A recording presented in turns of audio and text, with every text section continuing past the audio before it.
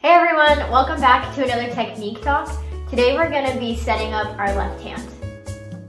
To start, what we're gonna do is I want either you or a parent to grab a pen and draw an X on the bottom joint of your index finger on your left hand. So what we're gonna do, put our violin up once you have your X, we're gonna shake out our hand in whatever natural shape our hand makes when it's hanging is exactly what we're gonna put up resting on the violin. So if you can see, my X right here is resting on the neck of the violin and my thumb is gonna be pretty much parallel to this X and just being really loose, grabbing the neck.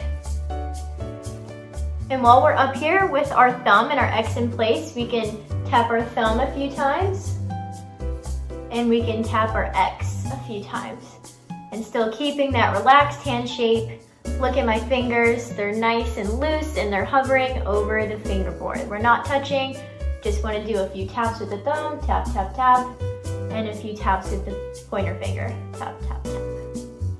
Now that we have our thumb and our pointer finger set, I wanna talk about a wrist. A lot of the times we see closed wrists, but what I want you to do is open your wrist, keep it nice and loose, it's pretty straight in line with your forearm. As you can see, your back of the hand is pretty upright, but your wrist should still be able to move. So if you could do this yourself or have a parent, just make sure that your wrist is super flexible. You can try to wiggle it a few times with your right hand. And look at my posture of my left hand. It's very upright. My fingers are still curved and hovering over the fingerboard. Now that our fingers are in place, our wrist and our arm are all very loose. The back of our hand is upright, not closed, it's up.